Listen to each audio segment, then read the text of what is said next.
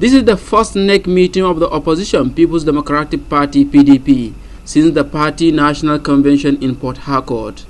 Speaking at the meeting, the PDP's presidential candidate Atiku Abubakar and the Senate President Bukola Saraki said any attempt to rig forthcoming election will be an invitation of crisis.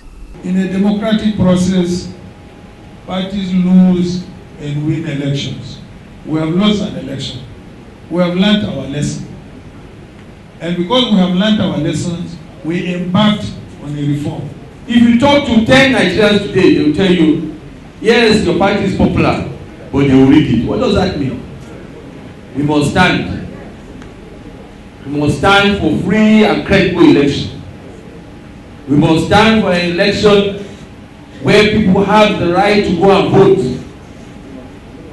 Election cannot be credible when you have a practice that two days before the election, all opposition leaders will start looking for them in their houses to arrest them. That cannot be a credible election. And that must stop. We must stand for an election because if election is not free and credible, you are creating crisis in the country. The party's national chairman Uche Secondus and Delta State Governor Senator Ifeanyi Okowa called for grassroots campaign by all party leaders if they must succeed in their quest to unseat the APC. The BOT members, the NEC members, National Assembly members, we must be ready to go down to the grassroots.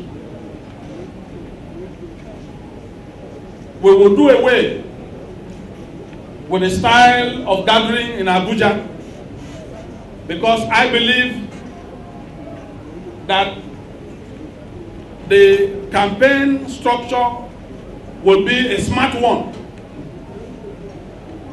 and very effective one and slim. As leaders, we will return back to our various communities, our various wards and local governments to speak to our people, to encourage them, and to give them the required strength that they need. Comprehensive campaign for the governorship and state house of assembly election are expected to commence in full by Sunday, December 2.